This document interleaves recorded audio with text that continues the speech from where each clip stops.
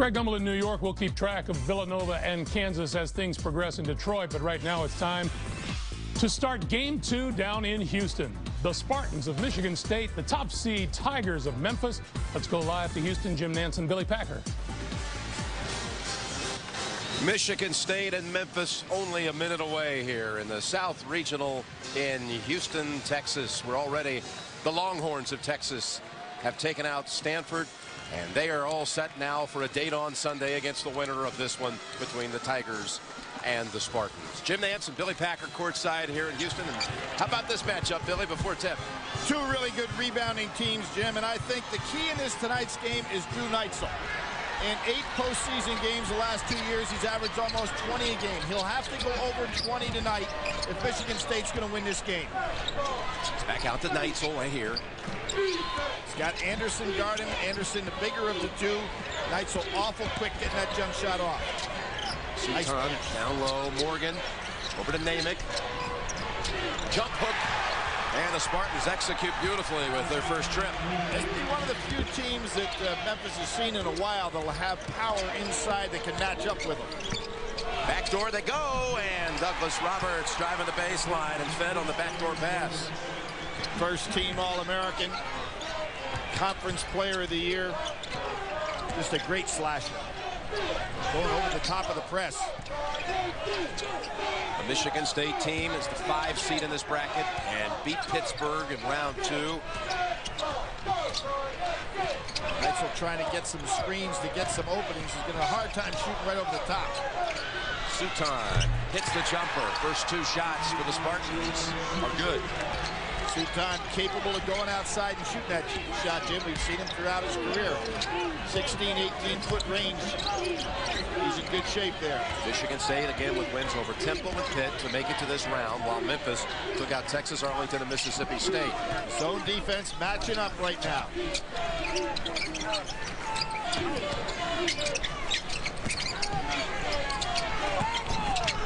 Rose. And what a touch. Absolutely soft, beautiful touch, and so powerful.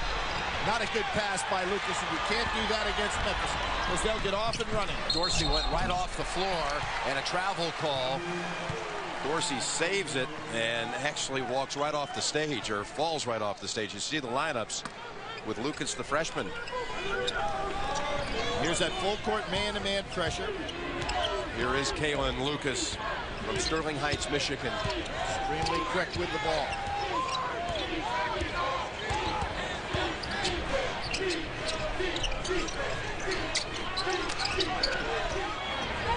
Neitzel gets the open look. Short with his first shot. Rose has it for the Tigers. And stolen. Pass was just soft. Was that quickness of Lucas. Back to Lucas, the trailer, and Naymick able to retain it. Puts up the short shot. No. And a reach-in call against Suton. Suton actually, Jim, should have put up the shot the first time. He had low post position. If he didn't score, he would have had himself a foul. John Calipari, his 10th team he's taken to the NCAAs. And of course, he's been to the Elite Eight the last couple of years. Took a UMass team to the Final Four back in 1996. His team 35 and 1. Won their first 26, lost to Tennessee, and now they've got a nine-game win streak. Been undefeated in their conference two years in a row. There's Dorsey blocked out. They come back out. Anderson with a three. Knocks it down. Nice balance so far by Memphis. Crashing to the inside. They've got the outside shooting. There's not any disguise out here about this ball club. They were ranked number one in the nation and, and deservingly so in the top 10 the entire year. Really a quality team. Nice speed. Neitzel gave it up so quickly to Suton. And the Spartans cut it 7-6. You know, the funny thing about Michigan State, too, what took them out of the top 10 this year were some of their miserable losses. That loss to Iowa, that loss to Penn State, that was totally out of character for a Tom Izzo coach team. Tom Izzo, Billy, though 26 and 9 in NCAA tournament action. Pretty remarkable. Four Final Fours in the last nine years. That last foul was called on Drew Neitzel. And a national championship. And the championship in 2000.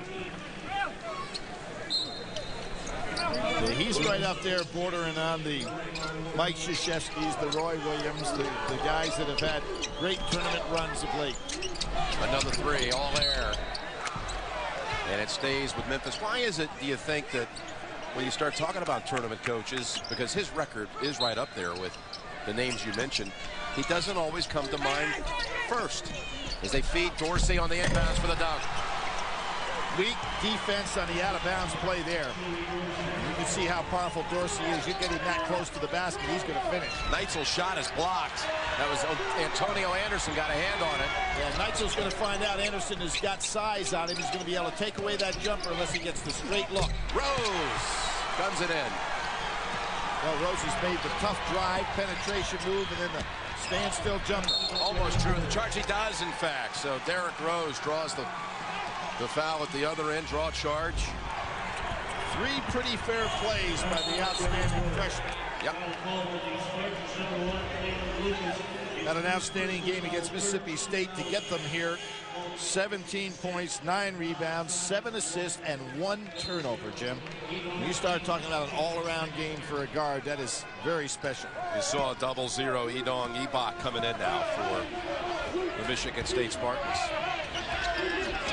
They stay in the matchup. A little bit more like a man-to-man -man right now. Ibok started out on the top. They are playing man-to-man. -man. Back to Rose. Neitzel guarding him. Tough assignment for Neitzel. Rose so strong. Nice save there by Anderson. Up with Roberts.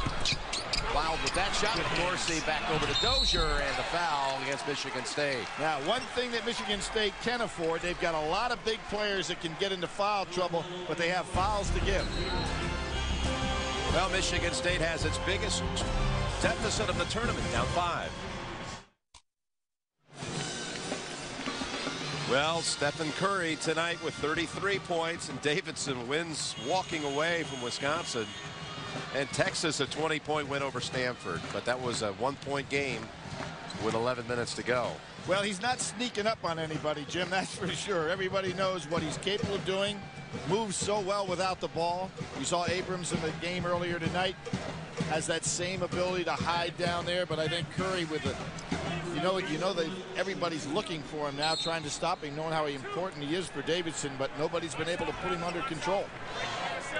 And they'll be taking on the winner of Villanova, Kansas, and Kansas off to the big start in that one. That uh, enormously talented, powerful Jayhawk team could be their opponent on Sunday afternoon up there in Detroit. And a team that has excellent defensive guards. So Curry is going to have his hands full because any one of three players could take him on. Dozier hits the free throws. Really important now for, in my estimation, Neitzel to get off. Anderson is uh, guarding him extremely well. Anderson's got size on him. Neitzel hadn't been able to beat him. Here's Walton into the game now for Michigan State.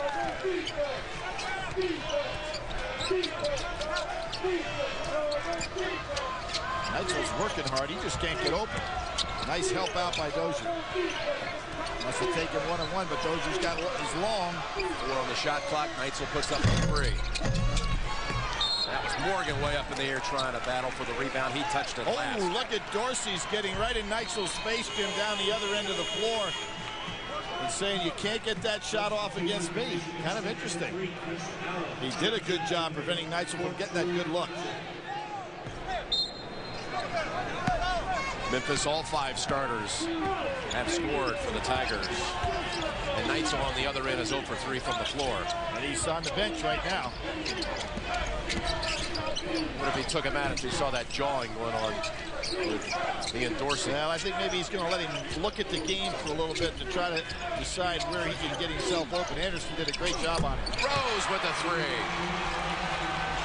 Well, he's got some shot. That is a quick release. Well, the thing about Rose that we've seen so far is his versatility offensively. Drove hard to the basket. He's got the range on the jump shot. Last nine points have gone to the Tigers. John Calipari really excited about his defense over there. He's wanting his team to push that ball. Chris Allen with the basket for the Spartans. Breaks the 9-0 run.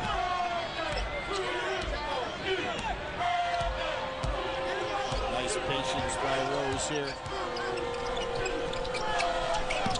Douglas Roberts. He is Wow. pushed by Ibok. Roberts one of the best penetrators for his size, Jim. He's got that fluid motion. He's got the short jumper when he takes it inside, and he's an excellent finisher. Ibok's second, he comes out. They also take Summers out after just a brief appearance.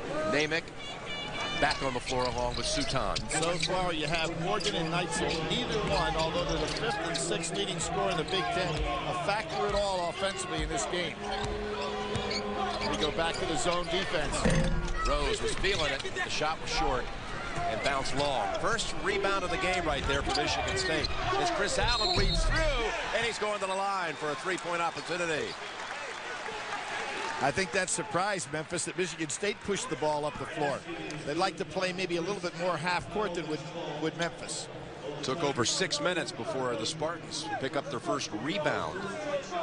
And now Allen's come in with a couple of baskets. That foul was on Dozier.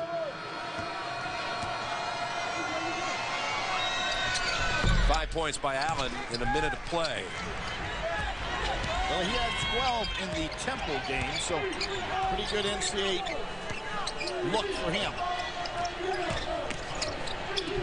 To the Dorsey, and he traveled. Nice defense that time inside. You know, if Dorsey gets that close to the basket, Jim, in that particular case, he was probably trying to make a move that uh, is not in his arsenal. But you might as well think about fouling. Shawn Taggart has come onto the floor. Sophomore from Richmond, Virginia. Talented player, transfer. Sat out a year ago, but uh, long and talented, particularly in the low post. Walton lost the dribble. Naymick was able to go to the floor to keep it. But Allen's got that big, strong upper body, but those quick feet.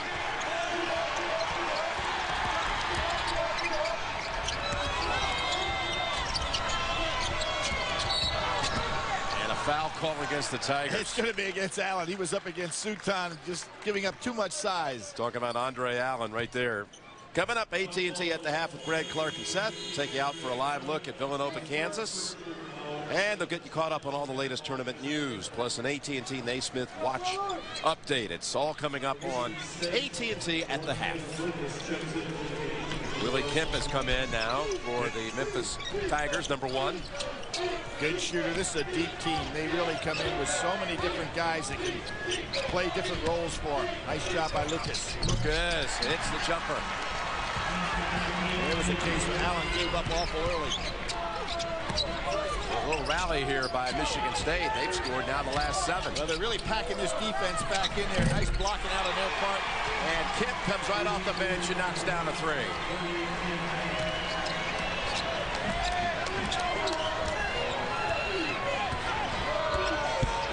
Talented team, Jim.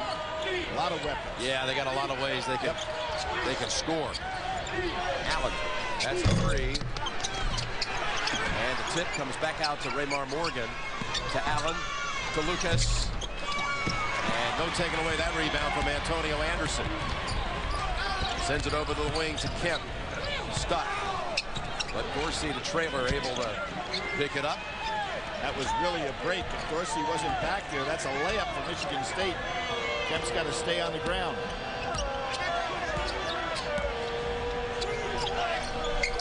Good job by. You're not going to play Dorsey that far away from the basket. That's a foul outside on Lucas of Michigan State. His second. 1912 Memphis. 1913. Greg Gumbel in New York with an update from Detroit. Kansas has had the advantage from the opening tip. Brandon Rush will get a little better position for his jump shot and knock down two of his nine points. Kansas leads it by 10, 7.49 to play. Back to Houston, Jim and Billy. All right, Greg, we're coming out of break here in Houston. We're already tonight. The Texas Longhorns have advanced to the regional final with a win over Stanford. Lucas on the bench for Michigan State after picking up his second. Well, Jim, the thing that jumps out if you if you're Michigan State is the fact that you have Morgan and Neitzel. Neither one of them have been a factor offensively. Morgan hasn't even had a field goal attempt tonight. And we've played almost eight minutes, and you're just down six. And Neitzel hasn't scored. Timeout called by Memphis.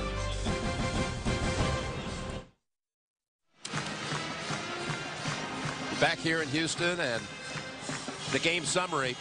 Memphis has already hit seven of its first ten. And Neitzel looking to get his night started, if you will. He's 0 for 3 from the floor, back out there for the Spartans.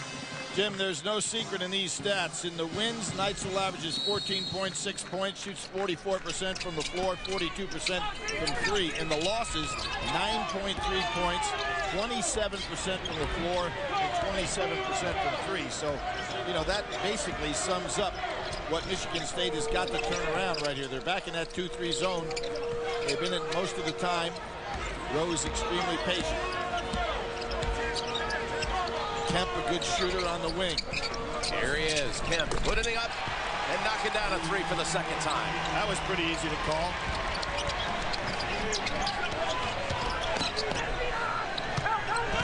Suton. Banging bodies with Taggart and rebound pulled down by Dozier. And so many times, and we saw it in the first game of the Lopez brothers, guys get in that low post and they're going to go ahead and put up the shot. Nobody coming from the weak side to get an offensive rebound, and it's almost always there. Yep, the long rebound is just uh, no one at all. As you see, Dozier gets the rebound at one end, basket at the other, and the Tigers have now their largest lead of the night. What I see is a big differential in talent level between these two teams.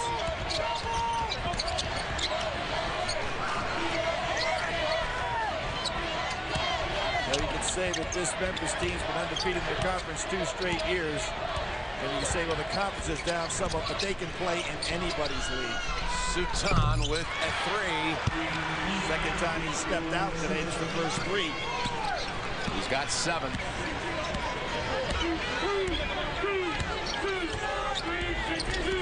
They were the number one seed in 08, and obviously this year, in 06, and the number two seed in 07. So it's not like this is a one-year happening. John Calipari really has it working at Memphis. Like you said, the conference, he's gone right through it the last two years undefeated, including through the tournament. Turnaround shot by Taggart. I said Taggart's got some nice offensive moves. Had an outstanding game I had a chance to do earlier this year against Tulsa. And that's going to be a traveling call against Allen.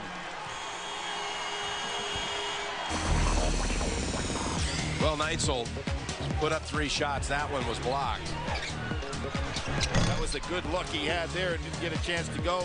And that was the one in which Dozier was right there, in his, or Dorsey was right there in his face. Neitzel had a big game against Pittsburgh. Five threes in the win over the Panthers. Five of eight threes, 21 points. Had four rebounds in that game in addition to four assists. Douglas Roberts. And there's where he uses that length just go over the top of guards.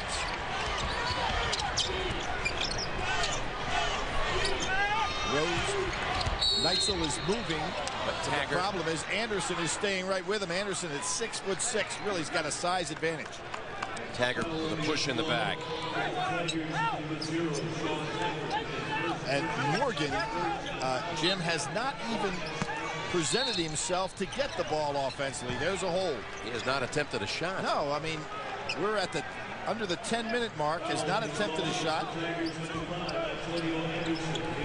We're talking about one of the leading scorers in the Big Ten. Fifth leading scorer has not attempted a shot. Bad pass. Walton, we thought that Neitzel was going to cut the other way. And Lucas returns for Walton after the turnover. Well, Michigan State's been changing their defense around. A little zone, some matchup zone. Now it looks like they're in the man-to-man. Neitzel on Anderson. Plays over the top of him. Taggart couldn't ask for a better look. Foul's going to be against Raymar Morgan. Well, the free throw issue that's always hovering over this Memphis team when they're discussed. Well, it certainly hasn't even been something worth talking about to this point tonight. But out of the 341 Division One teams, they rank 339.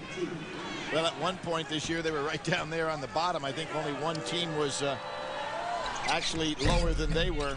But Jim, in, in the postseason, they've shot 62%. I realize that's nothing great, but a, a little bit of an improvement. Dozier earning one more. You saw them late in the regular season, Billy, and you felt that they would shoot the free throws better come tournament time. Yeah, I mean, this is an athletic club. I think it's just a matter of concentration for them. Most of them have good form. They have no business shooting down there below 60%.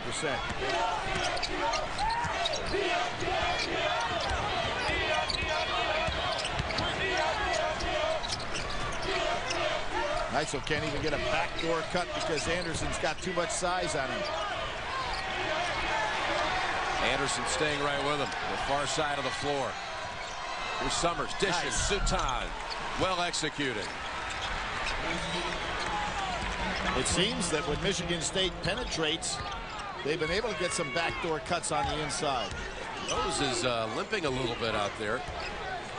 And he looked over to the bench as he was bringing the ball up court. I wonder if it's a if it's yeah. a cramp. Yeah, he's hurting. And Lucas with the quick hands. 10 seconds on the shot clock.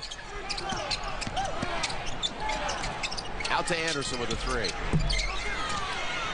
Tipped right back, back to the shooter. Floats it. Tipped up, yes. Dozier. Well, he almost got that lob to work, but how quick was he bouncing back for the second attempt? Morgan finally going it hard for the ball inside. And got hit from behind by Dozier. Seven different Memphis players have scored, including Shawn Taggart off the bench. They lead it by 13. Greg Gumbel in New York with an update from Detroit. Villanova got a little bit too close for Kansas, so they ran off a 10-0 run. This is Mario Chalmers with the runner, two of his eight points. Kansas leading at 38-21, 2.39 to play. Back to Jim and Billy. All right, Greg, thank you. And you know, you've seen Kansas this year, Billy, when they get up like that on someone. That is one. That might be the hardest team in all of college basketball to get back into the game with. And they have tremendous balance inside and out. And Jim, you know, one of the things that's alive and looking strong are the number one seeds. There have never been four number one seeds make it to the final four. But uh, right now, they all look like they're playing extremely well and in control. And that's Lucas back out to Neitzel. Neitzel now is guarded by Andre Allen. Smaller man on him, maybe he can get a jump shot off. There it is. There it is, takes the three. And now he's missed his first four from the floor. And that's a foul against Raymar Morgan. Yep. His second.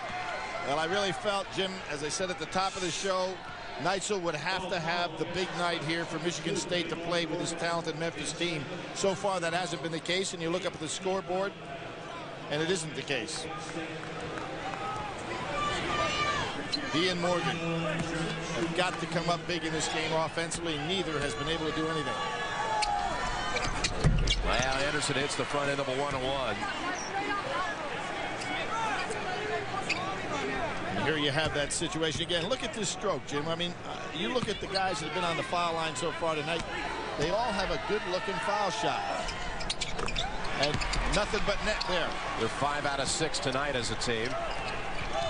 And they've got a 15-point advantage. It's been straight man-to-man -man all this ball game. Anderson has just been hounding whoever is on the perimeter. Does a good job again. And Allen comes out with it. Looking for the lob. They got the quick legs going, too, as Douglas Roberts hits the shot. It's something we've been talking about all tournament long. Slides over with the right-handed shot. The teams that look fresh, Billy. Oh, yeah. Memphis certainly reflecting that tonight. They've scored the last six. They say it's impossible for an underdog to go the distance. Then again, they said it's impossible to get real Coke taste and zero calories. Log on to mycokerewards.com and get lots of great NCAA gear.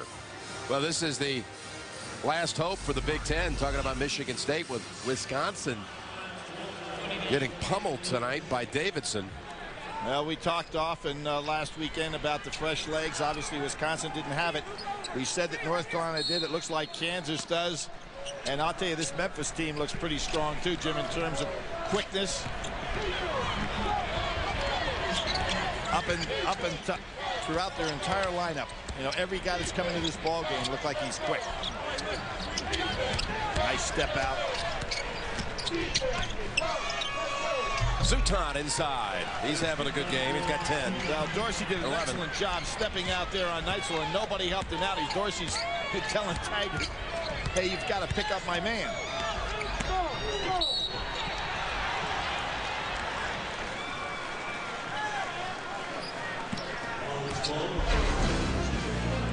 Check out the nominees for the Pontiac game-changing performance of the tournament at pontiac.com slash NCAA, where you can also enter for your chance to win a Pontiac G8 and a trip for eight to this year's Final Four. That foul is on Walton. And now Allen at the line, one one. 40% free throw shooter. You know what you might think about doing if you're Michigan State, Jim, with six minutes to go? Just going into a foul in your team. Try to get that ball back.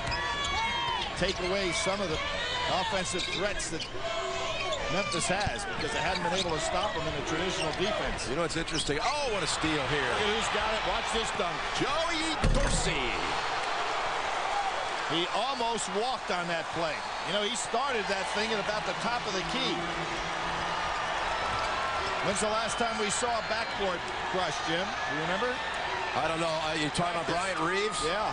At, that at was the a practice. Yeah, at the Final Four in 95. Well, that could have been another one right there. There was enough force there that Yep. it, it crossed my mind. Suton, no. They kick it out of there with Douglas Roberts. Memphis shooting 70%. and from so many different people. Anderson. Great. Dorsey with the putback. And Jim, that was not a shot. He really, I really believe he was going to try to lob that thing in there. Anderson's having a very good first half. Playing solid defense, shutting down everybody that he guards. Coach Calipari is up on floor level, if you will. He's got a little stool over there like a cut man in the ring. Well, I think he's got to love what his team is doing right And now. he right now can sense that his team can really create some major separation, imploring them to keep it going. That was Morgan's first attempt of the night. Well, they're doing this with Rose sitting over there on the bench. Now, it, I don't know if that was a cramp before. He had that slight little limp on his, in, in his, looked like his left leg, but uh, he's over there cheering right now. Hadn't been needed. Zone defense here by Michigan State.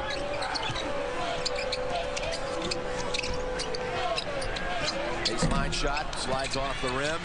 And again, quickness. Douglas Roberts. Second time, floats on the inside, Jim. Six foot five, six six.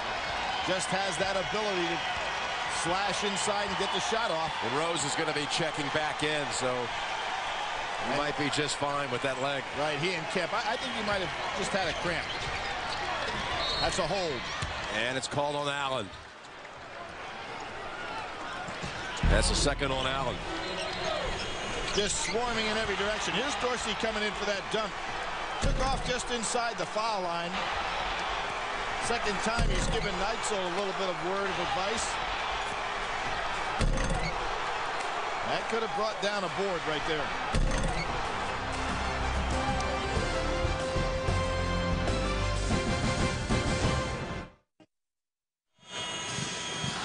Memphis, a program that twice has been to the Final Four.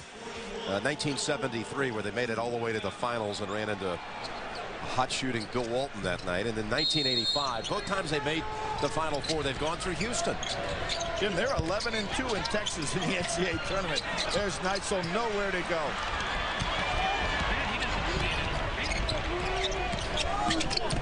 Fresh off another takeaway, the Tigers drive, and Rose gets the basket and a foul. Yeah, I think his legs really bothering him. Yeah, he just could tell. flew on by everybody there. And a real nice job by Dorsey not to touch that ball when it was up on the rim. The 43-point total already the most points allowed in the first half this year by Michigan State in a game.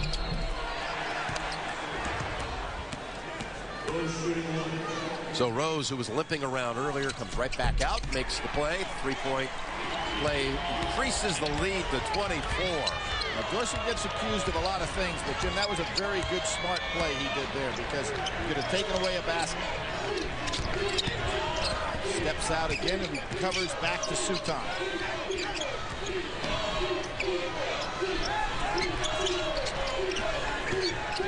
Anderson loving his challenge on Neitzel. Just won't let him get a free look. Suton gives it up. Naymick. Cleared by Dorsey. Back out to Kip, who's come off the bench and knocked down a couple of threes. Nice job by Rose, pulling the ball out. No sense taking bad shots and making the game sloppy. They've got a great working margin. It's a nice, smart play by him. And a near flawless performance yep. by Memphis. Michigan State went over six minutes before he even picked up his first rebound. Totally unselfish play, too. Anderson short with that shot, but Taggart is there.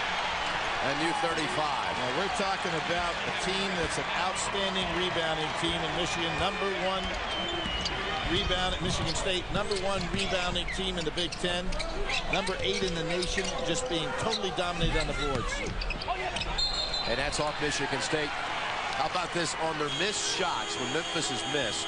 Michigan State has three defensive rebounds and eight offensive rebounds. Meanwhile, for the Tigers, they have a plus 14 advantage in, on the boards right now. Like I said, against the number one rebounding team in the Big Ten. Well, Tom Izzo has been a master of rebounding. With the exception of 04, they've been in the Big Ten first nine times and second three times in the last 13 years.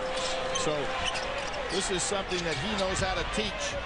Rose. Oh, we chased it down. With a little but to, wire act. But, but, tonight, John Calipari's club is teaching him a lesson or two. Pierre Niles has come in.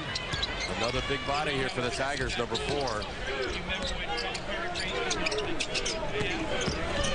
Kemp lobbing it to Niles.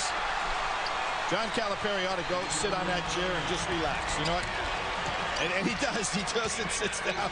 Oh, he's back up. That shot way off for Summers. Well, remember in the Final Four when Tom Izzo brought a club, the last, actually the last one he brought to the Final Four and, and had a game kind of like this, the first half, it, everything went crazy. Against North Carolina in 2005 in St. Louis. That's when they went through Austin. That was Neitzel's freshman year when they beat Duke, they beat Kentucky in double overtime to make it to the Final Four. Last touch by the Spartans. Boy, Morgan touched that ball. That might be about as much as he's touched it all in this half. And it was on the defensive end of the floor. Has not been a factor. Their leading scorer with only one attempt, and it was a misfire. Douglas Roberts returns. Michigan State saying, you know, we play Big Ten competition night in and night out. Well, let's see what this Conference USA champion is all about. Well, I don't think that Tom Izzo said that. I think that he knows that this is one of the premier teams and programs in the country right now. What John Calipari has put together at Memphis. And they are really showing it tonight. What I like about it is that they have not gotten sloppy, even with this big working margin. Ibok clears it for Michigan State. Up ahead. Oh, oh beautiful. That was Anderson. Everybody in the act for Memphis. At the other end, the dunk. How about Anderson, Jim? Gets the rebound, runs the floor, gets it back. And a near steal. Allen set up for the shot. That's long. Ibok gets it right back to him. Allen stumbles on the floor. Another Got another break. Rose can dunk it if he wants. You know, I haven't seen a Tom Izzo team just absolutely get blown away like this. This is a no contest. They have scored the last 15 points. And have no answers to this. No, they can't they'll not solve this riddle. Allen with a three. Taggart clears. Seven seconds. Rose realizes up ahead the pass. Douglas Roberts with three on the clock. Lobs it, no. And we've reached halftime. An absolutely awesome first half performance. Just a great performance in every respect. Unselfish basketball. Michigan State runs into a buzzsaw called Memphis. The Memphis Tigers. Greg Gumbel coming up in a moment. CBS Sports presents AT&T at the half. Your world delivered. Hi everyone, welcome once again to our studios here in New York for AT&T at the half. Nail biters are at a premium tonight. Greg Gumbel, along with Clark Kellogg and Seth Davis. Uh, let's run down the scores and the highlights for you. Beginning with the game in Houston, Memphis all over the Michigan State Spartans. Joey Dorsey, head fake, dunk. Memphis was off to the races, Seth. Yeah, all Tigers from the get-go. That's Derrick Rose, the deep three. He's had a terrific first half, and uh, beat Willie Kemp for the three-pointer. Hey, Memphis is six for eight from the foul line. That's been a huge key in the first half.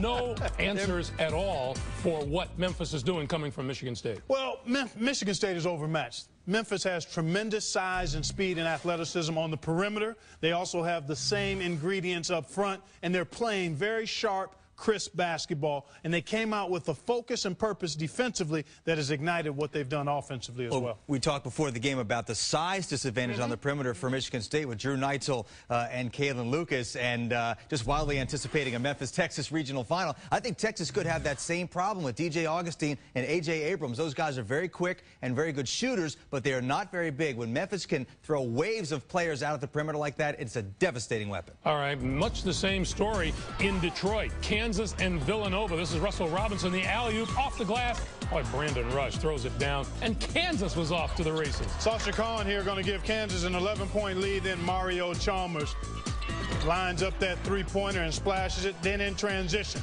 Sherron Collins pushes it ahead. Nice job by Kansas to spread the floor and a simple three-point field goal for Chalmers. And all Jayhawks all the time yeah, in that first half. Villanova has shown traces of being close, but then every once in a while the Jayhawks get into a run. Well, the problem for Villanova is that they need the game to be fast-paced, and that plays right into Kansas's wheelhouse. And again, if Kansas plays Davidson in the regional final, it's going to be the same deal. If Davidson tries to run, I think Kansas thrives on that, just dominant basketball. No question about it. But Davidson, you have to be who you are. And looking ahead, Davidson playing against Kansas, this team showed tremendous defensive intensity and focus tonight. That'll have to be at the top of the game on, on Sunday. But nonetheless, that Kansas is a team that loves to play quick, loves to play fast, Kansas and can is, hurt you inside Kansas and out. Kansas is looking ahead to this young man, Stephen Curry, who all he did was chalk up 33 tonight. Boy, he has been absolutely sensational, poised, productive, confident, and he's making it look really easy. And Davidson has won 25 in a row. That's the longest active win streak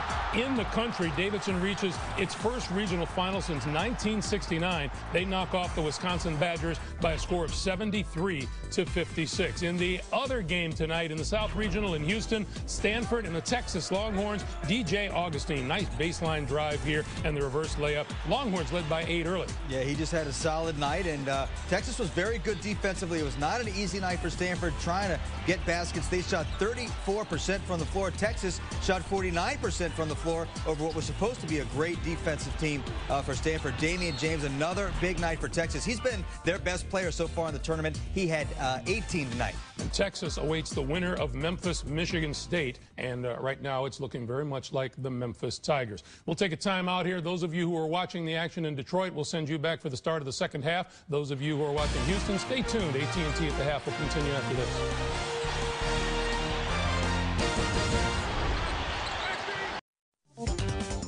They're still at halftime in Houston with Memphis leading Michigan State by 30. We're about to get underway in the second half in Detroit. Kansas and Villanova. Let's take you there for the time being. Gus Johnson and Len Elmore.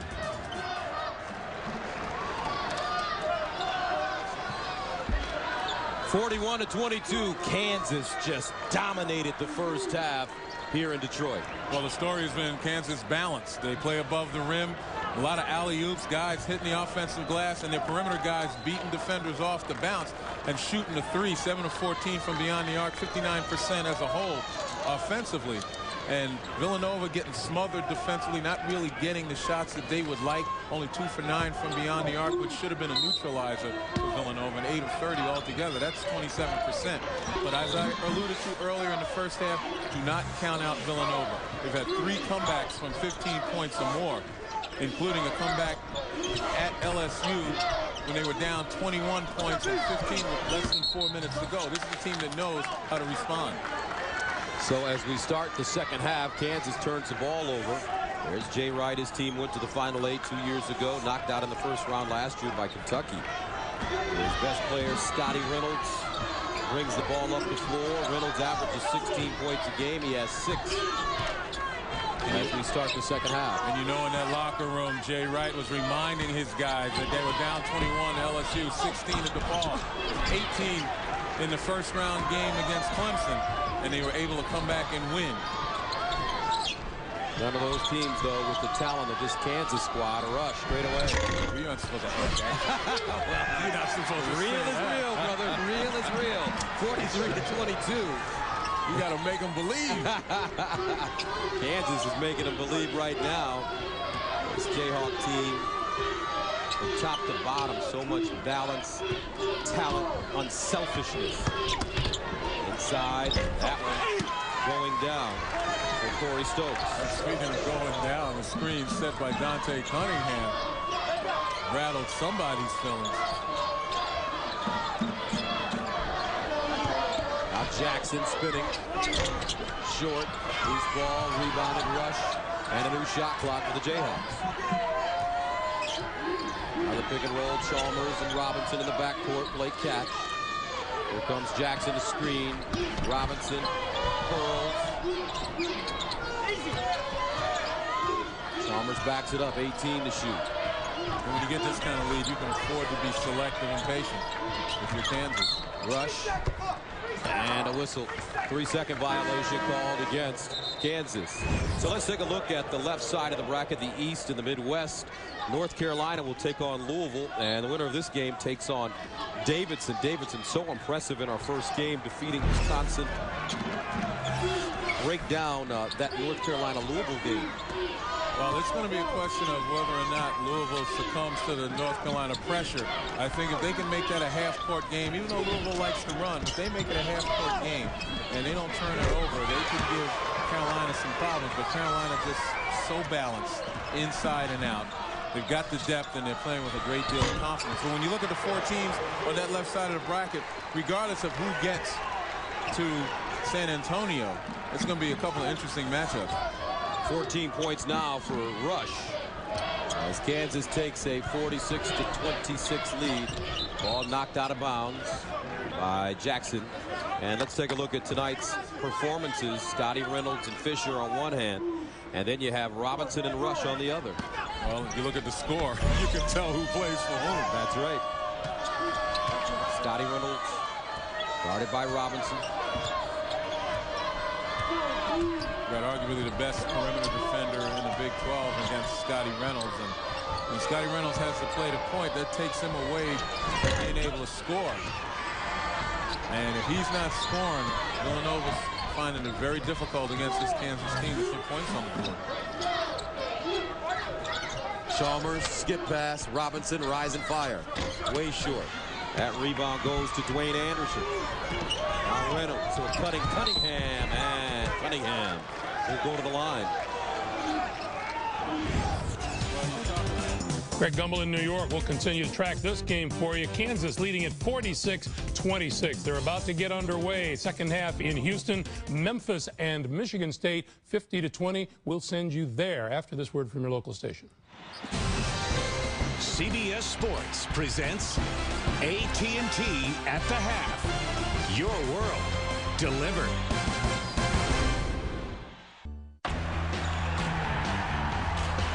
It's March, when passion, performance, and style make the difference. When the best of the best put it all out on the floor to prove their mettle. Get in the game at your Buick Pontiac GMC dealer during the NCAA March Madness sales event. Now through March 31st, GM employee program participants get a low mileage lease on a 2008 G6 sedan for 149 a month. Call for residency restrictions and details. See your local Buick Pontiac GMC dealer. CBS Sports exclusive coverage of the Men's Basketball Championship is sponsored by Burger King, Miller Lite, Enterprise Rent-A-Car, and by Fidelity Investments.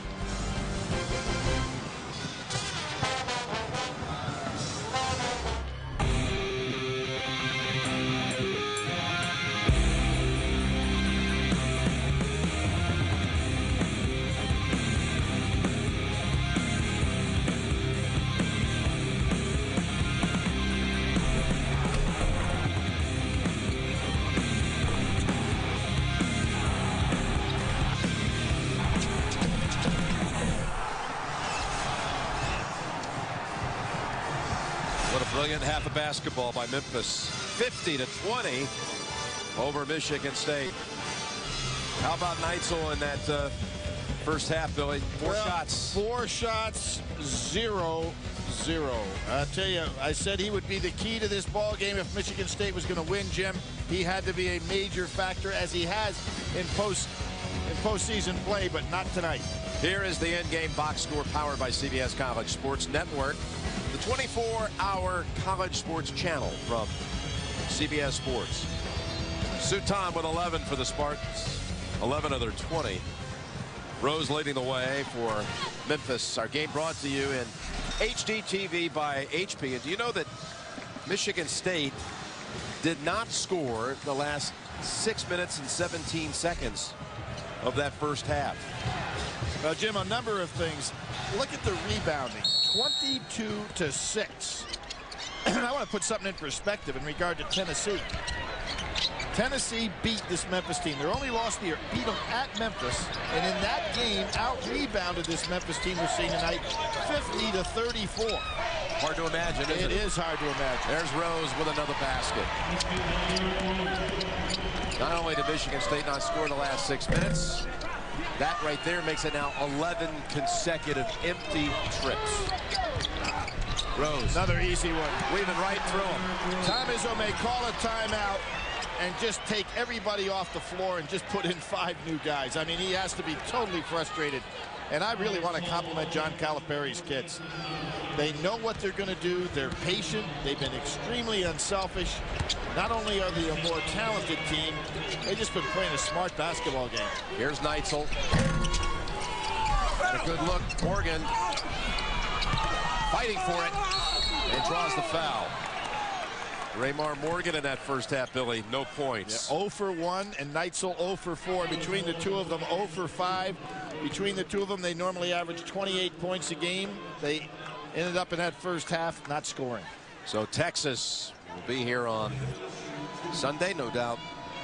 The Memphis Tigers will be their opponent. And, you know, you were talking about that Tennessee game. That could be very similar in style, I would think, Texas and, and Memphis, Billy. Magic Johnson here to support his alma mater. He's so great about that. Well, Jim. Judd Heathcote in front of him. Yeah, there's Judd sitting in front of him. Magic is who they need tonight. You know, have only been nine triple doubles in NCAA tournament play. Magic had one in the Final Four where he played so so well. You know, he's had two, he had two of the triple doubles. You know another guy that had two? Oscar Robertson. I was going to say Oscar. You know, it, his numbers were phenomenal in the NCAA tournament.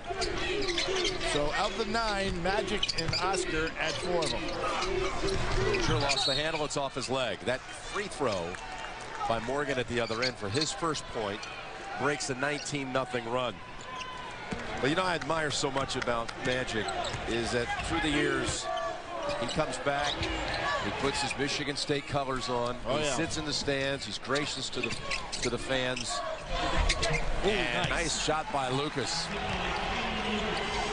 And if you're Michigan State now, you want to play for respectability. You're not going to win this game. You want to compete. That's awful easy. They're getting it inside with very little worry. Well, we talk about the number one seeds, Jim, and what they all have is versatility. They've got an inside game and an outside game. We see what Kansas is doing tonight. We saw North Carolina last weekend. UCLA with the inside-outside presence, the great backcourt, love on the inside. So uh, that that is what's in, and of course this Memphis team we're seeing. Michigan State goes back to that little matchup zone they tried earlier in the game. Douglas Robertson to the paint. And Morgan on the floor takes it away for the Spartans. Right back it's Anderson. Douglas Robertson trailer. Naymick had his back turned. Well, you know what happened? Naymick knocked Suton down, so they screened for each other. The lob blocked. They'll count it. Goaltending. That Memphis Tennessee game we're talking about was back on February 23rd. Number one against number two. Memphis undefeated had won its first 26 games. Tyler Smith's bucket with 28 seconds left. gave the Vols the lead. They went on to win it by four. Now that's some win at Memphis. In that game, Memphis was 8 for 27 from three. Something they're only taking threes tonight when they're wide open. They've been able to penetrate, get the ball inside, and not rely just on outside jump shots. Rose with a three. And Neitzel.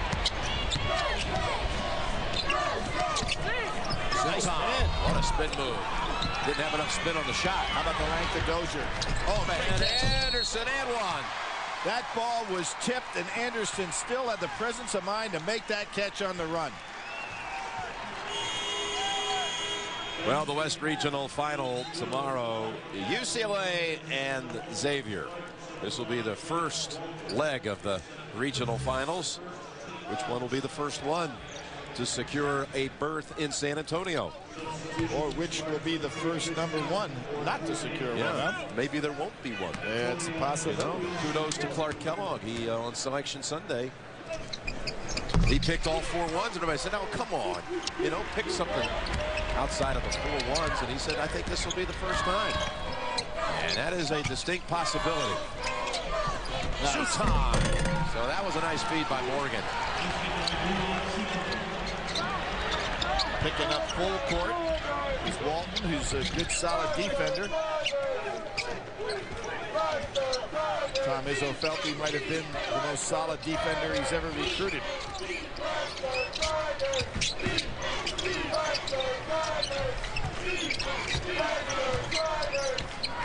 Penetrate, kick, offensive Memphis, whether it be inside or outside. Nice moving, left-handed put up. Dozier. Stolen. Anderson.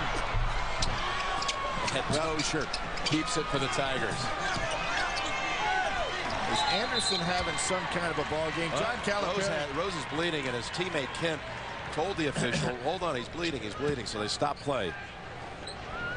A scratch right over his right eye.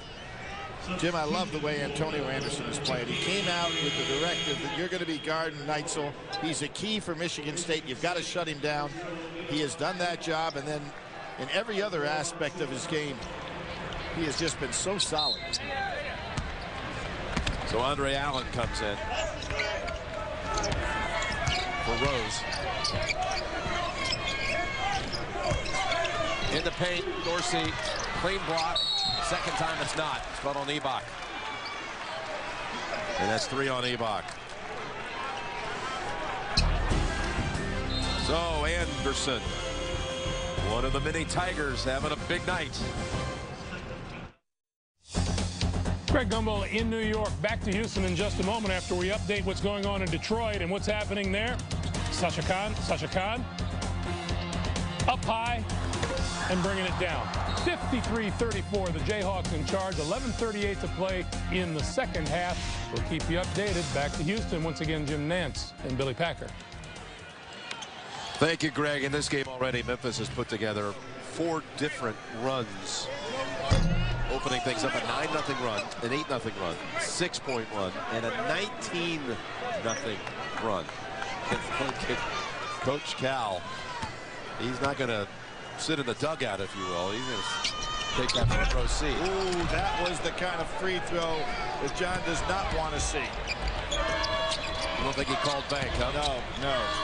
That was the kind that you say these guys shoot under 60%. And Dorsey is a guy that has all kinds of problems there. And that's Taggart on the hold outside. I was saying to you in the break, Billy, that this Memphis team in that stretch the last six minutes of the first half reminded me of the old Phi Slamma Jamma days here from the University of Houston. And I know Guy Lewis is right here at home in Houston, and he's been recovering from some uh, recent health issues. We sent along our best, and I'm sure a close smile on his face watching that kind of play reminded him, I'm no doubt, of those glory days of Houston. Well, I can remember that game against Louisville in the semifinals, and you said, poor NC State's going to have to face this winner. And that was probably one of the great exhibitions ever been in the in the semifinals of the Final Four.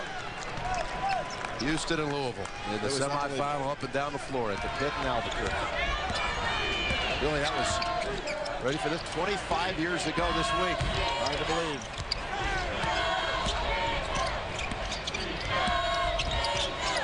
Allen Off the screen and gets the shot. Allen has been the most positive player for Michigan State in this ball game. Just a freshman for the Spartans out of Lawrenceville, Georgia. Here's Anderson. He gets fouled. He's so strong, he took Neitzel right with him. On the pass. On the pass. Yep, in the air. Yep. That's push off on Walt. His third. Now, it's not like Anderson hadn't had some big games before. He was the MVP of the Conference USA tournament.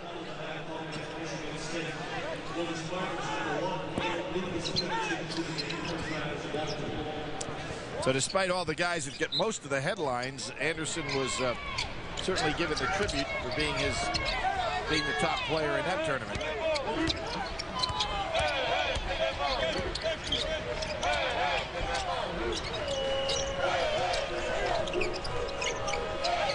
Taggart. Working over Morgan. Short with a shot, and there again is Allen. Well, give Michigan State some credit in the fact that they are not backing down right now. They're playing hard the second half, particularly on the defensive end. Morgan walks, no call. Yep, got the ball back. Allen launches a three, and he's good again. Tom Izzo, Tom Izzo asking his club to go ahead and pick up full court. John Calipari not satisfied with the score for the way his team is playing. Look for Rose to come back in here. That's a 9-0 run by Michigan State.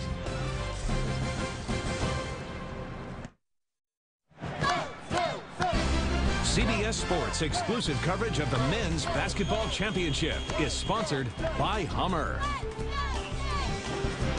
and by Bud Light.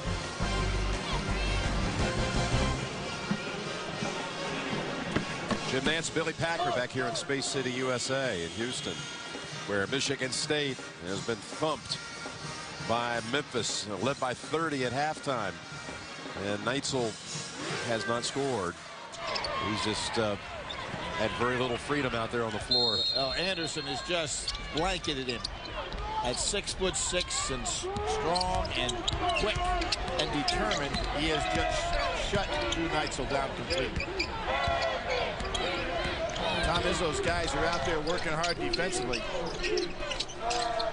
But just up against superior forces, there's a hold by Lucas.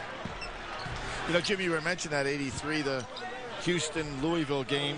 Houston got to that Final Four by beating Memphis.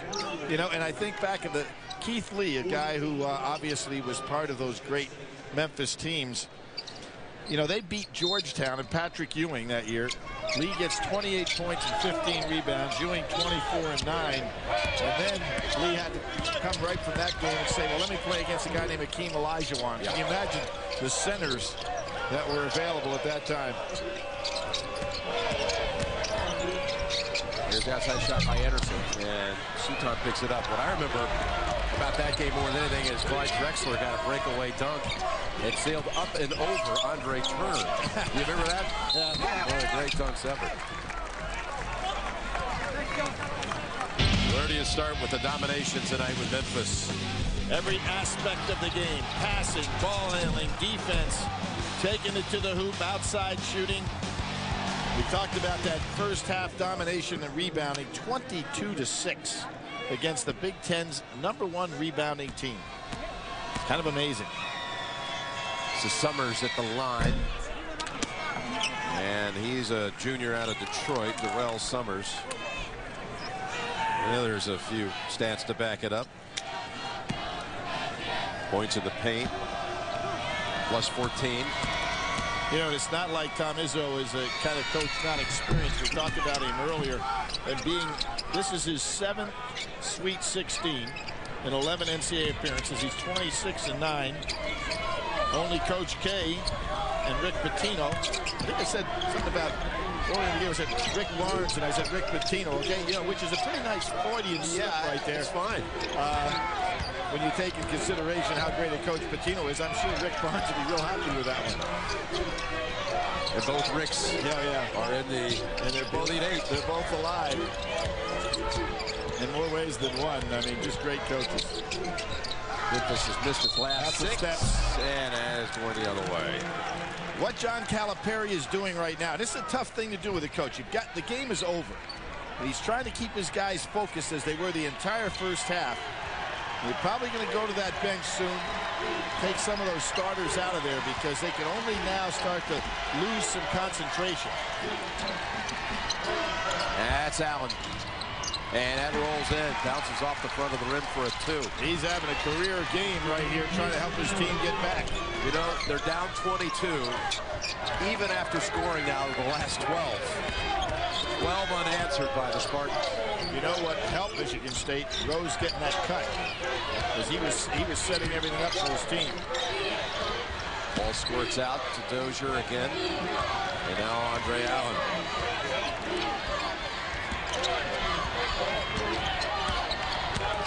On the shot clock. Douglas Roberts will launch it. Wow. I think John is going to get Rose back in this ball game. Lucas' is shot rejected. They say he got a piece of the arm. Called on Douglas Roberts. Well, the Spartans showing a little fire, even though they're down 22, 12 unanswered.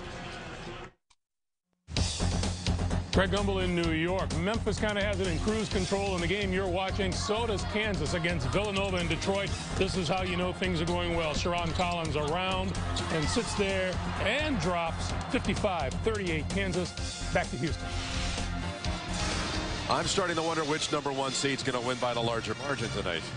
Will it be Memphis or Kansas? Now, Memphis has had nine consecutive empty trips. They've missed seven shots and a couple of turnovers. Lucas is at the line to shoot two for the Spartans.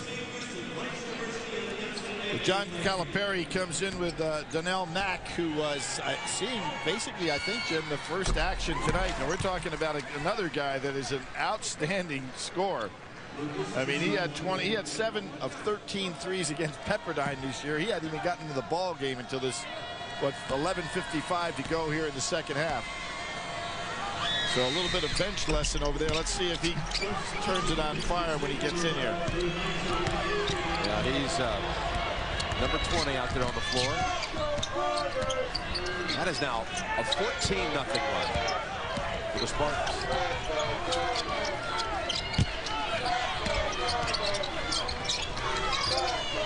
Back to running their offense. Anderson fade away. Dozier gets good inside position. And it's going to stay with Memphis.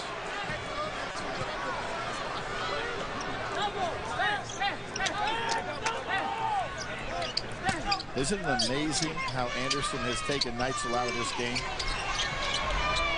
Good idea, throw it all the way down. Everybody back there. I think at this point, now they've gone this far, they'd like to just see if they can just close it out and just keep the clamps on Neitzel. Well, I, I, tell you, that becomes a deal of an individual saying, you know, coach, I want to stay out here and do it the whole time. And Anderson, he finds him even running down the court. Notice where Anderson is right now? He's on Neitzel. He's not going to let it get out of his sight. This is a personal challenge that this young man's taken on and is really doing the job. Fighting over and around screens. Nice move by Suton. Drives right on Dorsey and scores. Now this becomes a matter of, and John Calipari doesn't like it, but it's a trading of baskets. And as well as his team played in the first half, he's not satisfied with the trading here in the second. Yeah, they haven't been trading much here lately. That's a walk. Sunday 60 Minutes, a baseball genius who helped win the World Series. What are his secrets? You can find out Sunday on 60 Minutes. And that was Chris Allen who comes up with a good defensive move. He has been, without question, the best offensive threat that Michigan State's had in this game.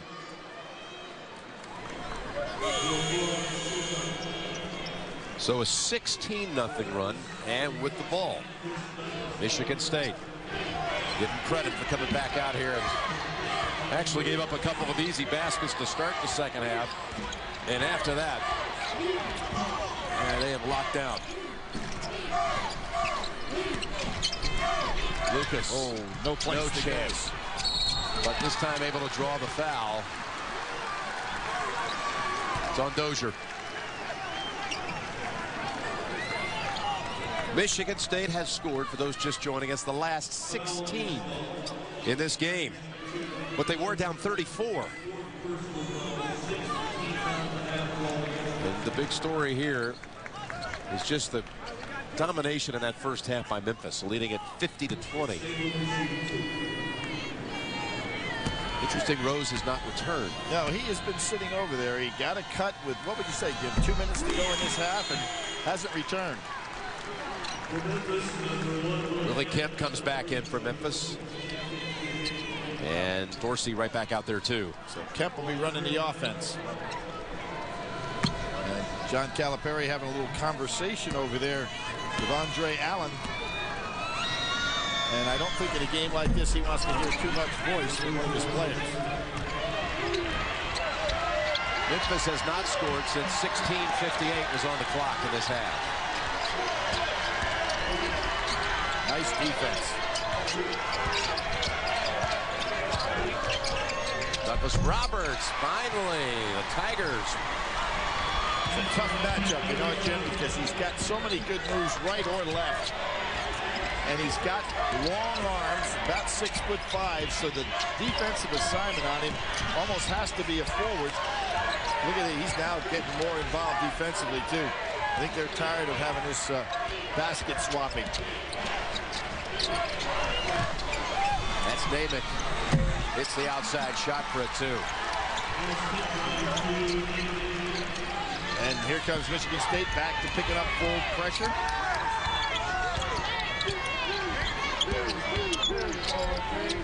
Izzo's Cubs doing a nice job this second half, showing the fact that they just didn't want to throw in the towel. And that'll send Douglas Roberts to the line. In that scoring run, got up to 17 before uh, the basket by Douglas Roberts. Allen contributing a large chunk of that. Suton with a nice move to the hole.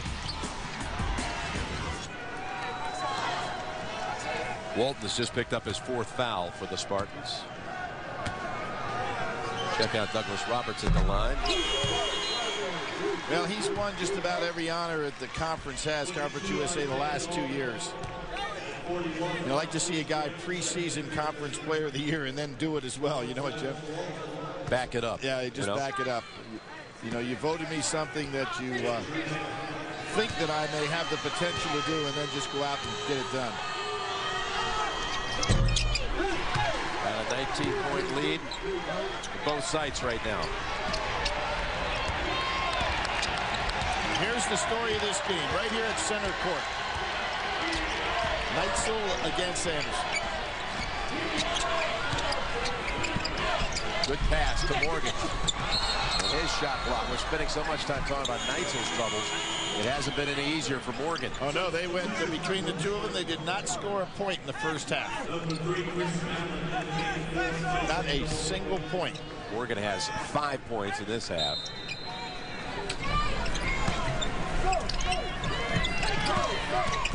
There's Morgan. And he draws the action. We got extended coverage at Amen Corner Live coming up at the Masters. You can watch the exclusive live video from Amen Corner Live, plus the 15th and 16th holes, live coverage. Bonus coverage of the entire field with Masters Extra at CBSSports.com slash Masters Live and Masters.org. Jim, maybe, maybe, we see why Rose didn't come back quickly. He's got a, a big, heavy bandage over that right eye of his. I didn't see how he got it cut, but we uh, it was brought to our attention quickly by Kemp when he saw that he was cut. Yep. Bringing the ball over half court.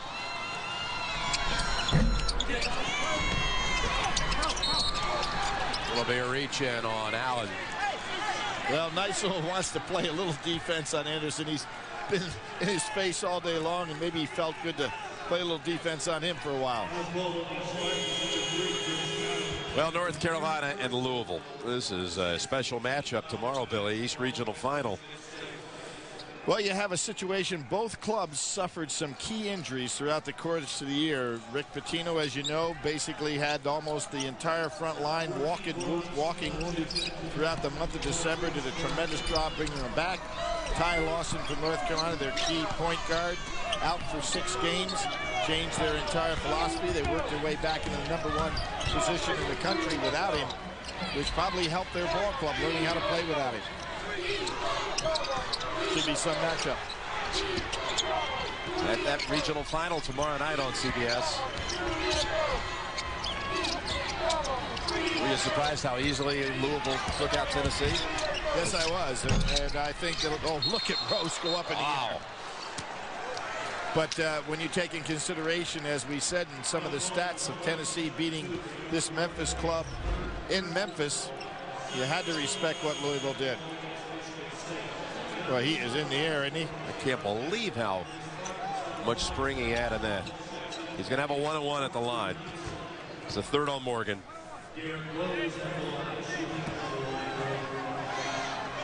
First chance for me to see Derrick Rose in person. You know, been so many impressive freshman guards in college basketball this year, and he's right up there with oh, any of them. I'm telling you, maybe maybe the standout.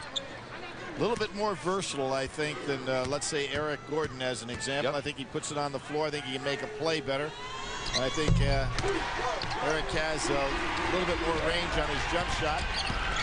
Both are very powerful young men. There's Allen.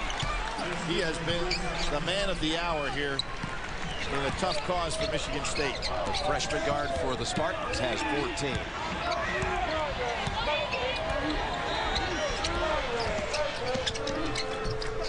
Nice move there, huh? Yes, and again. got everybody to commit. Tip in goes for Dorsey.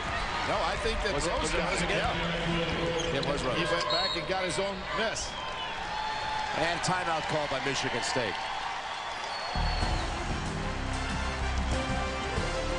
Got a 21-point lead, under eight to play. You know, Billy, we were talking about those glory days with Guy Lewis in Houston, and he helped put together this game. He brokered the game to get John Wooden to bring UCLA to the Astrodome, which is next door. Back in 68, they called it the game of the century. Houston upset UCLA, ending the Bruins' 47-game winning streak. The Astrodome is right next door here to us, and it is dwarfed by this. Yeah, you could put, it, you, you put it right inside yep. this building. Edifice, this. Uh, Great El Elvin Hayes in that ball game was truly outstanding. Kareem, remember, had been had his cornea, I believe his cornea was scratched. And, uh, and a guy who I think has been one of the most important factors in the history of college basketball to put that together, Eddie Einhorn. Never really gets the total credit due for all that he did for the game in terms of being the first guy to understand to how to syndicate college basketball, how to get it on national television, to how to really be the promoter of the game television-wise. And of course, Dick Enberg was uh, the incredible announcer that he is uh, announce that game. And how important was that that very game? Oh, I, I think it put in the college game on a, on a whole different level. Yep. And of course, you had some pretty good players, you know, playing in that ball game, and and UCLA and Coach Wooden uh, often talked about it. The rematch was a little bit different at the Final Four. Yeah.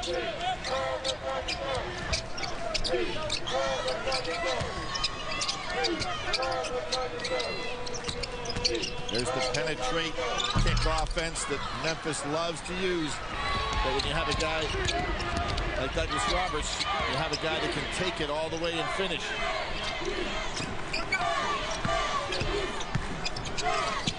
Defense by Dorsey.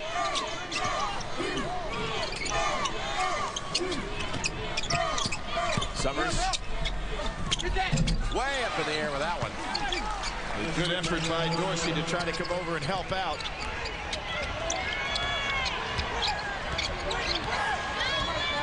Summers and Allen have played extremely well for Michigan State, Jim. Yes, they have. That, that basket, they just hit the, uh, they just passed the halftime total for Memphis. Memphis was leading 50 to 20 at halftime. Well, they, you know, they're going to win the second yes, half. they are. And Morgan. Can't get anything to fall. Hey, hey, hey, Tonight on Dave, Charles Barkley will be his guest. And next week, Dave's all new. George Clooney, Renee Zellweger, and presidential candidate John McCain only on CBS. Did Barkley play in that 15-2 matchup? Was he in one of those against? I know Richmond beat them, beat Auburn. I don't know if Barkley did he play in that one? I don't think so. No.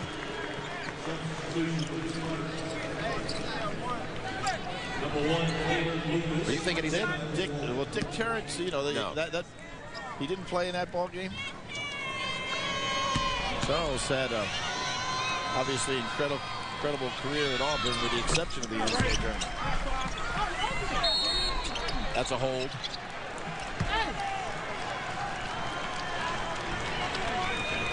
Well, Billy, this has been tonight. All these games have been one-sided.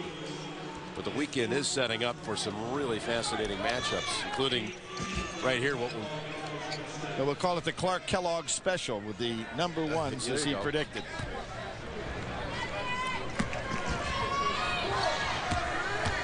Yes. At halftime, we were sitting here discussing like how long will Memphis stay with his first five on the floor, and how big might the final margin be? Well, it, it's very difficult. You get a, an opening shot salvo like that against another team to keep that concentration level up there. And if you're Tom Izzo, I'm sure at halftime what he talked about is going out and winning this second half. There was not much of a shot at winning the ball game. All I know is if Allen hit that three right there, it would have been down to 13 with six minutes to play. We, we might have to start doing a little backtracking here. That was 1984, by the way, when Barkley went against uh, Richmond. It was a, it was Auburn was a five. Richmond was a 12. Okay, 5 and 12. Okay, and Richmond beat him 72-71. Well, so that, that wasn't too far off. No. Maybe Charles will talk about it That- tonight with, you know, uh, with Dave. that- was that was that the first 5-12? Uh, First time a 12 beat a 5? I, I think it might have. Well, it was the it was the second year that they went to the full 64.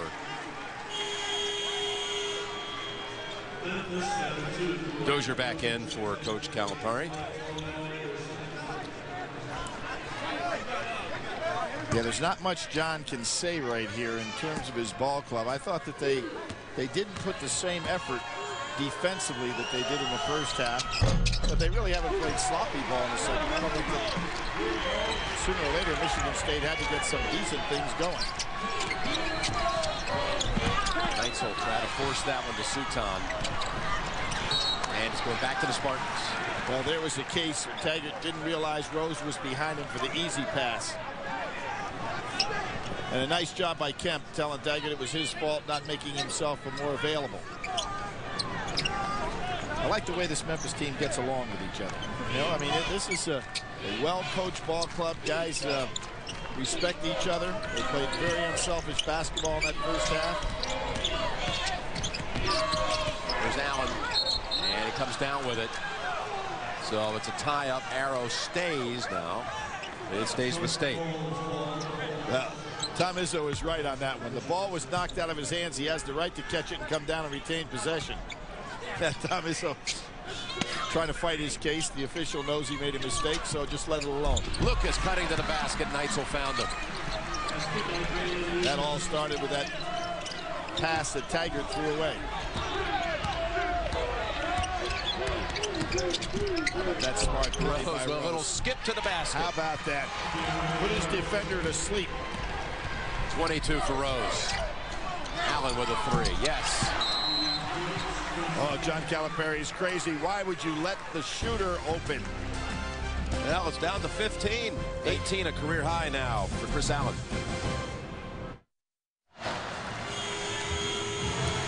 Well, Jim, take a look at some of these non-power schools. Remember Cincinnati? They played against the Fab Five. Yep. UMass went up against the, the great Rick Pitino's club in University of Kentucky that won the national championship. Utah did make it to the championship game. Marquette did not. George Mason did not as well. So one club there, Utah made it to the championship game. Rick Pitino, I mean, uh, Rick Majerus' club. That was 10 years ago. That was two was in San Antonio, where we're headed next week. Had a 19-point swing here the last 11 minutes and 30 seconds.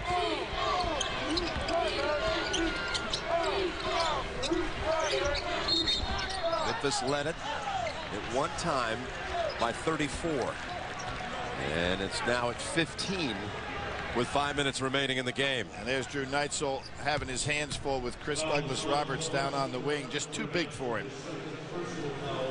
Neitzel's had an incredible career. 1,500 points, 500 assists. One of the top uh, all-around basketball players that Michigan State's had in their history.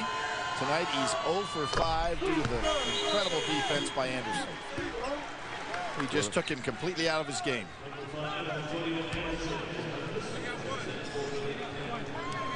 They bring back Antonio Anderson into the Memphis lineup, and he's been the one who's watched him the most tonight. Talking about watching Neitzel. Yeah, he took him out as a personal challenge, and he's following him right down the court now. Neitzel coming off the screen, gets it over to Allen. That shot blocked. Right there is Suton for the easy two. Taggart who hit the floor hard.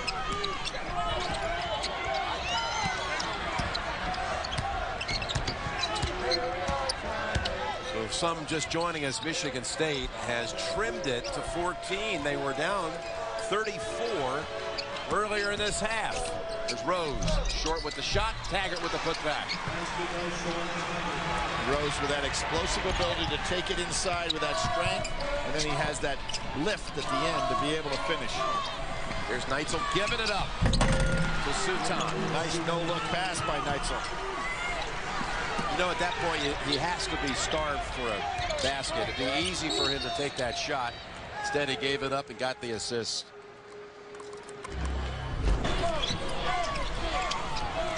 And Taggart goes down, hits the back of his head, but gets back up and goes down the other end and and makes the basket. Ooh, he really took Man. a hit. Oh. But he's up on his feet and uh, not complaining a bit. You know something unusual also, Jim. We've got three coaches the history of college basketball who have taken two different teams to number one seeds. And you know what? They're all still alive. Well, you got come up this you got. Roy Williams. Well, you, you got, got John Calipari and you got Bill Self. There you go. So you got Kansas, Memphis, and North Carolina, coached by uh, the men that have done that. Calipari taking two from non-beat BCS schools. Walton driving in, blocked from behind. They call a foul.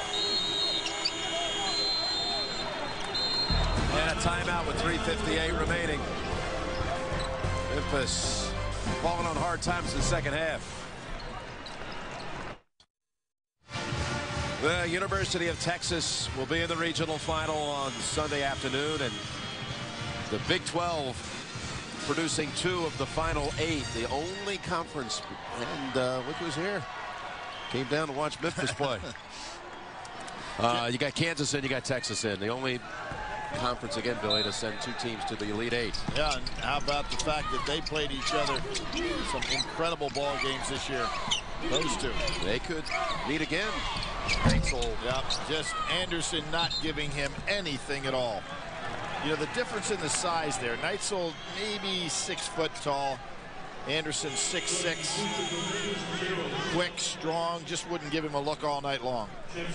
And if Memphis goes on to close this out, which we expect they will, do you think Anderson would be on uh, Augustin on Sunday? What well, do you think? You know, I think that he's more inclined to be able to stop a shooter than a guy that penetrates and kicks. Uh, I think that'd be a tough assignment for him. But it may be when you look at their lineup, the most logical assignment. Right. That's one thing Texas has going for it. It plays really three-point guards at a time. So, uh, but then on the other side, what do they do with those small guards guarding a man like Chris Douglas Roberts? Douglas Roberts with one, one, of those small guards has to handle him. That's right. He's got 18 on the game. Summers puts up the shot. And again, it's Dozier. What will be interesting to see if this team will regain that intensity it had at the start of this ball game. I mean, they just went after Michigan State. Michigan State had no answers. They tried to change their defenses up some. Didn't alter their lineup that much, but they just had no answer. It's about a stronger first half performance, Billy, I would think you've seen in a long time. It really was. They led 50 to 20 at halftime. Now you got UCLA Xavier. What do you see in this matchup? Well, the thing that would scare me if I were a UCLA fan is it seems like for the last month and a half they've been getting by on games with incredible plays or uh, uh, you know fouls and things of that nature. How long can that continue? I think that that one game would come up when it all wouldn't turn their way, but they play such strong defense. They're never out of the ball game. Xavier's a team that we all talked about right off the bat this season. They had just that incredible run early on. The Atlantic 10 had a terrific season where they actually had maybe too many good teams and they started banging up on each other and guys fell by the wayside but Xavier was always up at the top and uh, without question could play with anyone as we're seeing the case with Davidson. just a short while ago we're talking about those those teams that have made it to the Final Four from outside of the Power Six conferences. You're going to have three from the outside of the Final Eight. With the Atlantic 10 you just mentioned with Xavier. Davidson out of the Southern Conference and Memphis here out of Conference USA, Billy. That's three out of eight. Yep, close to 50-50 here. North Carolina and Louisville tomorrow in Charlotte. North yeah. Carolina has really steamrolled through its three games. What will be interesting there, Rick Pitino, a master at pressing and his zone defense uh, as well. And uh, I don't know if you can afford to be pressing North Carolina. As quick as they are, and they just love to get that game going up and down. They see Louisville play a little bit more half court, a little bit more solid zone. And they have something that maybe nobody else has in the country. They have a center who basically plays point guard and really makes a lot of their key decisions on the offensive end in Padgett. A young guy who uh, started off at Kansas, so, you know, he's uh, pretty good shape. Two schools that are fighting it out. You know, that was a Louisville team that came on strong right at the end of the season. Got it going in February and had a nice win streak. And, and I remember about two weeks before Selection Sunday, you had them on the board as one of 10 potential number one seeds in the tournament. Here they are going to play North Carolina tomorrow, the one in the East. Yep.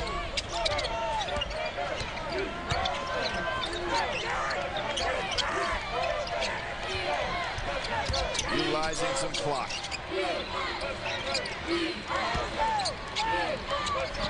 Illegal dribble by Rose. He gets by it. Let's see if the ref watches a little closer. Splits the defenders. Oh, so strong. They count the shot. He is so strong. The last time Drew Neitzel was shut out was two years ago in the Big Ten tournament in a game against Iowa. Well, he had a game in, the, in you know, two great games this year in the Big Ten tournament. He had 28 against Ohio State, 26 against Wisconsin, that losing cause. But then uh, against Temple, he was two for 11 and one for eight from three. Only had five points in that one. But this game has been uh, a total block by Anderson. Lucas, nice move. Gives it up, Suton. Pressure's there. See if they'll go long. Dorsey was wide open. The timeout called by Memphis. So just a minute 56 to go.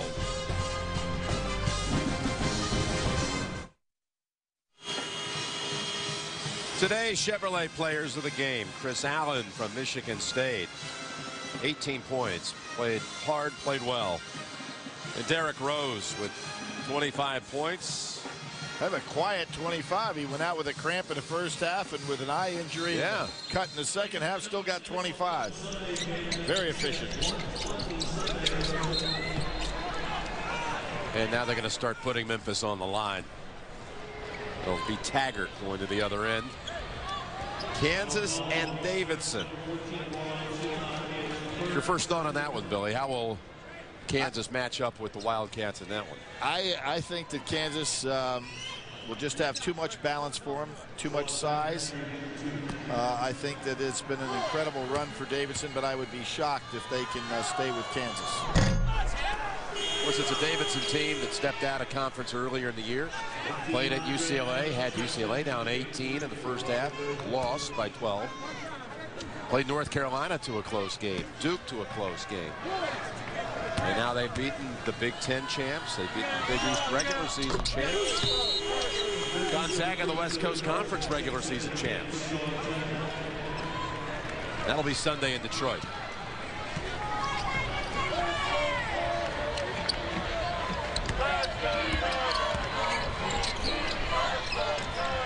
Neitzel. Is this the time? Yes. Gets one. Rattles around and goes in for a three. That'd be a good idea, I think, for Tom Izzo to take him out. Good for him. You know, he's not thinking that way, but wouldn't be a bad idea. And you know what? Who wasn't who wasn't guarding him on that possession? Anderson. Kid's had a great career in. You just don't want to see it end with being blanked from the floor.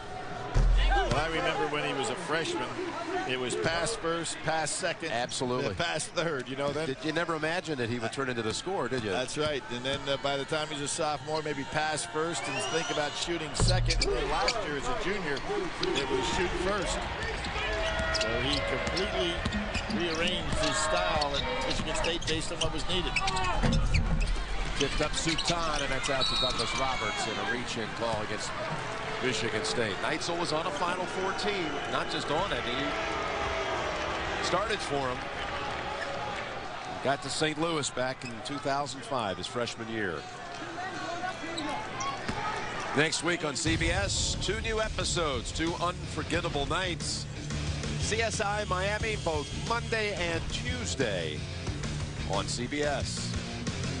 Lucas is fouled out for the Spartans.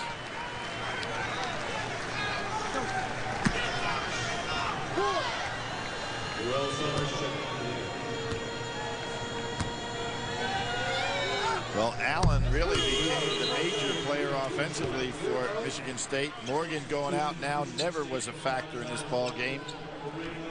Neitzel wasn't a factor.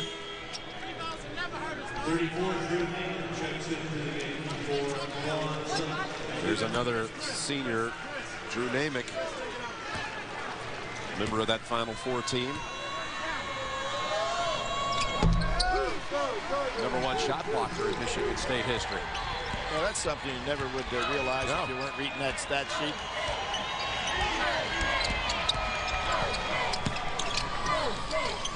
There's Allen again. Hit by Naymick, back to Allen. Nice. Oh, great body control. Timeout, State.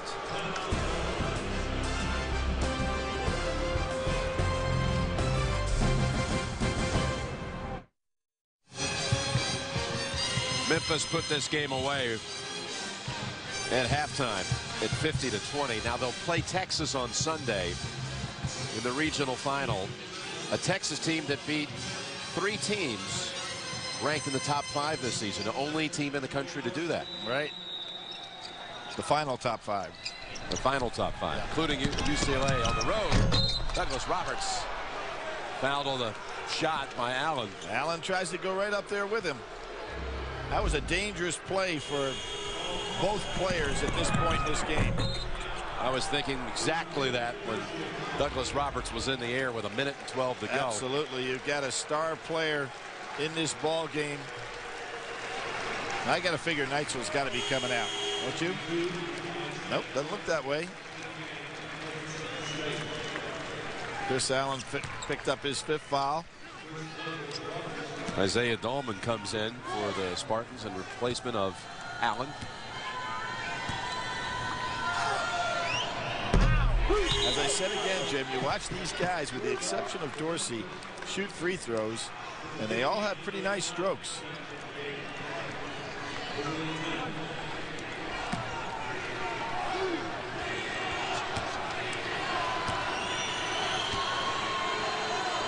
Twenty-three out of 32, make it 24 of 33 tonight. Not bad.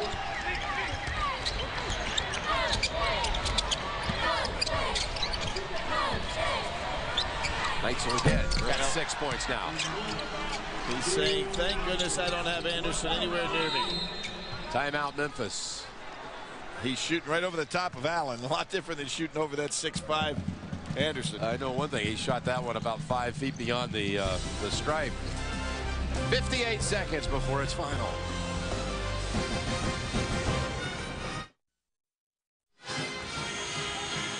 We can now, Billy, advance them in the brackets. I advanced them at halftime. I know you did.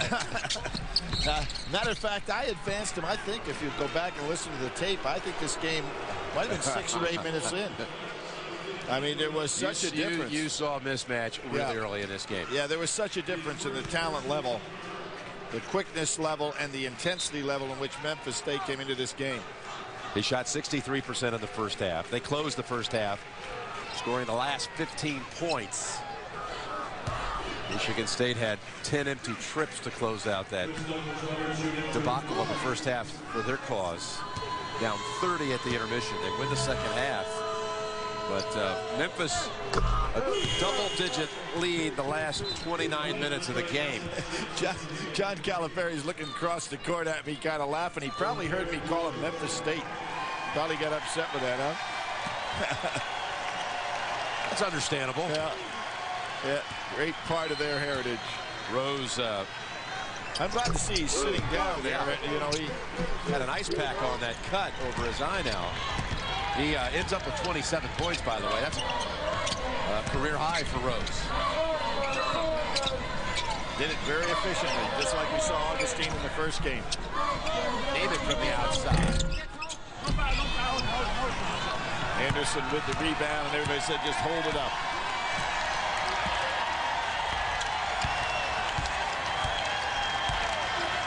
And Anderson rightfully should be dribbling this one out. Jim, he set the stage for how this game was going to be played. You think this team's playing, Billy, with a little chip on the shoulder? Everybody kind of thinking they're the one number one seed that would be the most vulnerable. Uh, I didn't think so. I know, but there were there are pundits out there who were saying that. And tonight they showed America what they're truly able to do. That's a shot clock violation. Well, they had to go ahead and give it up, though. There was six seconds differential on the clock.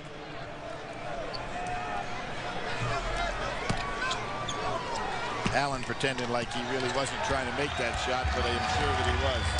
Pretty impressive here in Houston. Memphis to the Elite Eight once again.